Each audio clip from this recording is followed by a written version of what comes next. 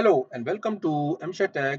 Today we are discussing the SAP analytical application, how we can create SAP analytical application in an easy way. So let's uh, go straight to the uh, to the dashboard. Here we have the icon of analytical application. Like let's click on it. Let's click on the application, create application and now we have to select the classic design experience then click on ok button. Here it is. Now we have the interface of analytical application. On the left side we have the layout. And after that we have the scripting option. Uh, present here which is the main difference which is the main benefit of uh, sap analytical application.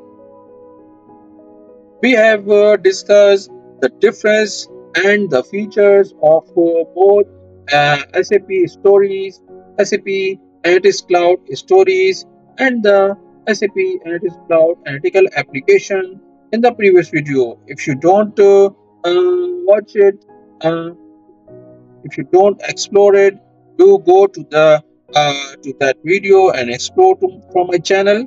So then you can have the basic knowledge of both the of both the products of uh, SAP. So now in this video we will create an application which will uh, which will do some we will control some some widget we will create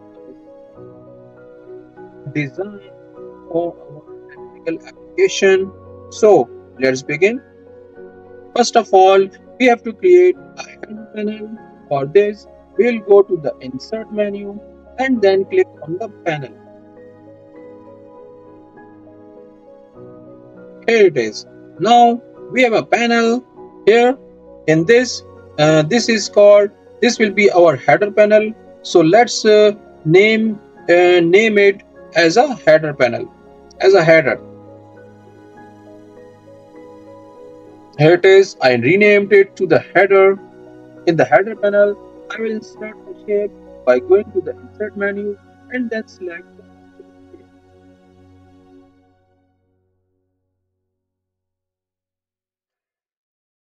here it is now our shape has been inserted. Let's uh, uh, let's uh, resize it.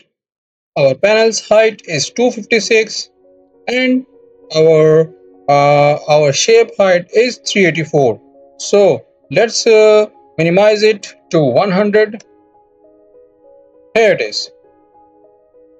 Now our panel size is uh, 256 and our uh, shape size is 100 so let's uh, expand it. Here you can observe that the horizontal toolbar has been added. Let's resize the width of the panel and the width of the shape. The width of the shape is now 752 uh, and the width of the uh, of the panel is 592. Let's uh, resize the width of the uh, shape to uh, shape to 592. 592 here it is now you can observe that the horizontal scroll bar has been vanished because we have adjusted uh, the the length of our shape uh, very perfectly. So now let's change the color of our shape change the color of it by using the uh, pictogram properties to fill color like this. I choose the color blue. Here it is. Now we have a perfect color for our shape. And in this shape we can also add a logo of our company. And in the panel we can add uh, we have to add the, the text which will which will represent the name of the analytical application. Let's insert the text from the insert menu. Here it is. Now let's write the name of application like it is sales sales analytical application. Here it is. Now we can also made it bold. We can also made it clear for the uh, for the user. So then user can uh, see it very clearly. Now let's rename the name of uh, the text to the title because it is a title of application. Here it is. Now uh, uh, our title of application has been added. Now let's resize the the shape of uh, the uh, now resize the height of our panel. And we can also uh, insert the logo of company by using the insert image option. Here I have to upload the image now we can add the image or logo which will represent the name of a company or the information about the company. So I added this image by using the option and then click on the insert button. It will insert our image uh, directly into our uh, into our header panel. Let's resize it uh, to the to the width of the panel. Let's find the what is the width of the panel uh, here it is. The width of the panel is 592 so then we can also uh, set the width of the of our image to the 592 px here it is. Now we just have to increase the height of our image. So then it will uh, it will show correctly. We just have to adjust our text according to the uh, to the image or logo which I have added here.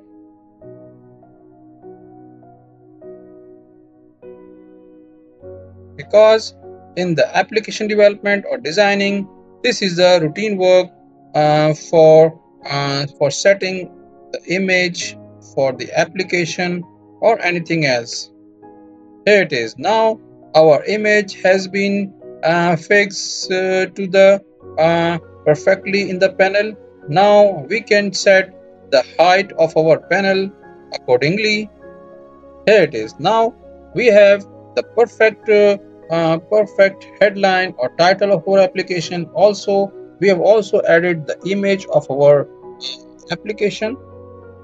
You can also add as per your need or favorism so now our uh, our shape of uh, the application has been finalized. The title of application is finalized.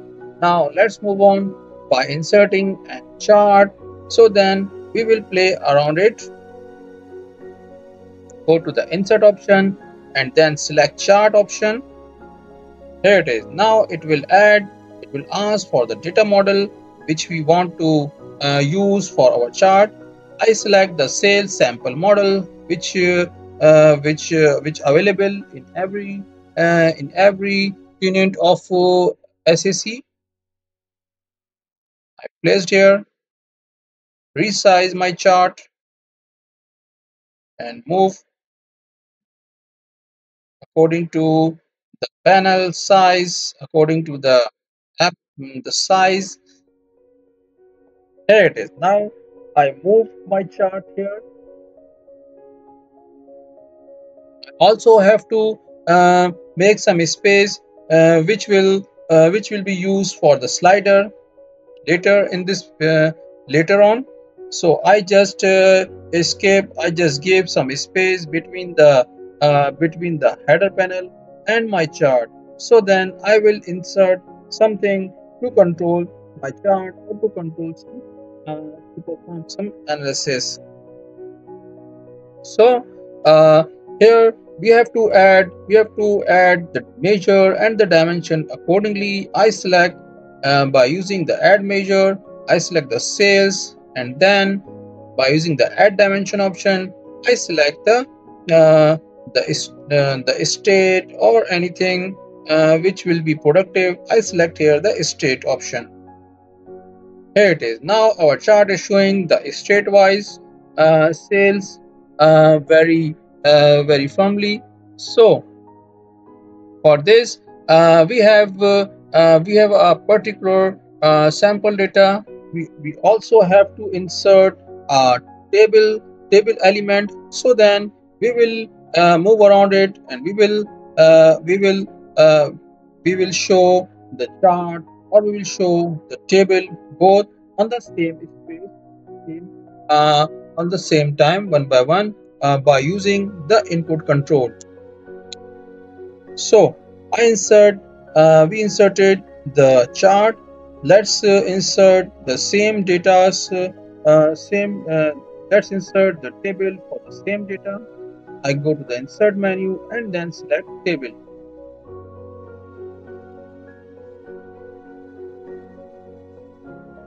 Here it is. Our table has been inserted let's uh, move it out to the particular space the particular space here it is. Now let's uh, uh, align it. Let's uh, give some important information uh, for this uh, widget.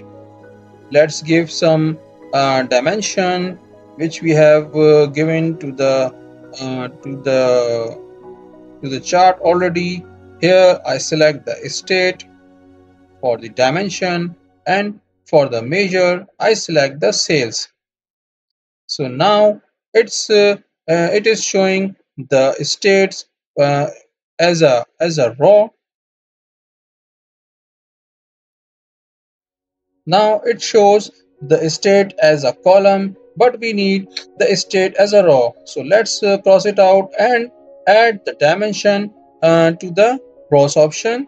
Here it is. Now i select the state in the option rows so then our table will show the uh, the states in the in the raw format. Here it is. Now you can see our states are showing in the raw in the form of rows alberta first row second row british columbia and california and so on.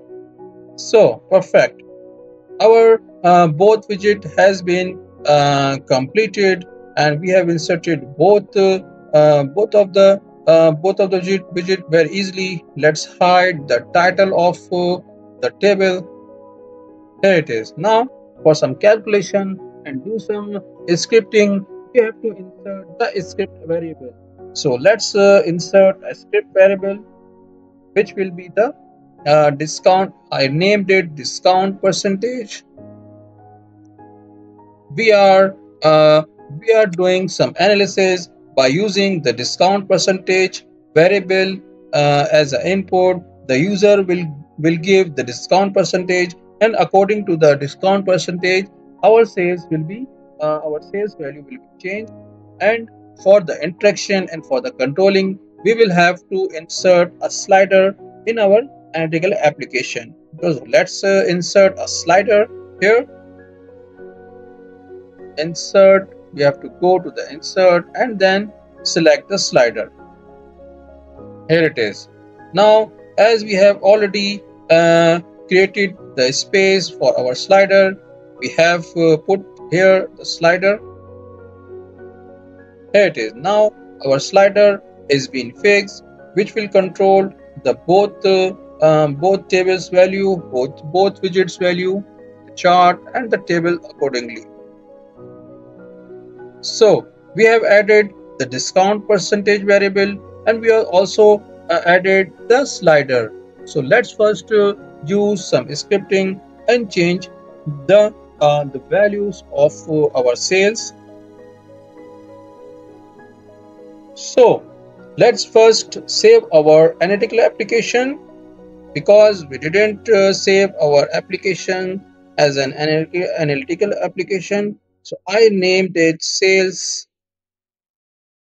analytical application version 2 v2 and then click on the save button.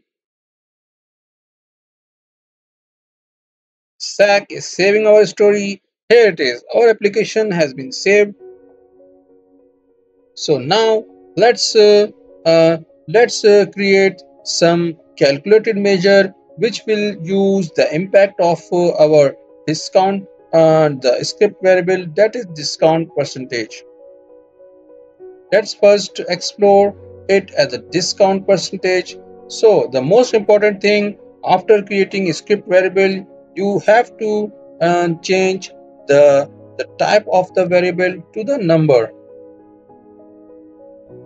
And then if you want some some initial value so you can uh, use it uh, the default value field. And if you don't want so leave it to the zero value and then click on the done option. Here it is. Now just let's uh, go straight to the measure of the chart. Here click on the create calculation. I named my calculated measure as a CL underscore sales. Here it is. Now for this we have to first uh, get the value of sales and then we have to minus the discounted sales discounted percentage sales uh, by using the formula sales multiply by discount. I just write the DI the system the SAC automatically gave me the option which is uh, which showing the script variable very easily and very clearly. So I select discount percentage divide by 100 because as you know for the percentage we use this formulation. So our calculated measure is now uh, is now completed. Let's uh, just use it. Click on the ok button here it is. Now you can see the each state is showing both measure. If we don't want to show the old sales the without discounted uh, we we can use the the only uh, the only CL our calculated measure and we can also rename it accordingly. So I uh, just uh, rename it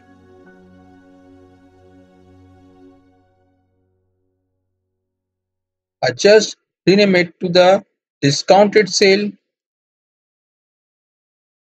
discounted sales.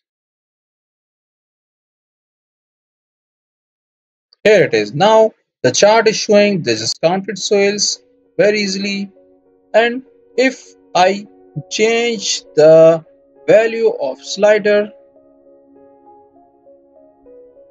the value of slider will change in the uh, when we run the analytical application. So just uh, save our application.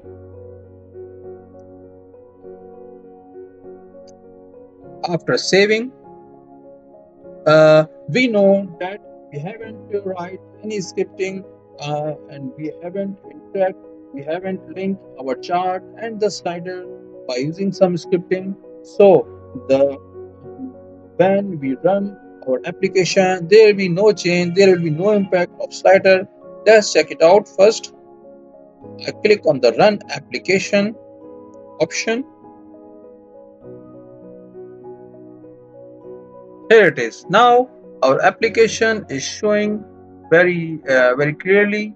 And if i change the value of slider there is no impact on our chart and no impact on our table. So let's uh, as I stated first, uh, there will be no change on, there will be no impact because we haven't relayed, we haven't integrated the slider with the chart or any other widget. So let's back, get back to the editor, designer, and analytical designer.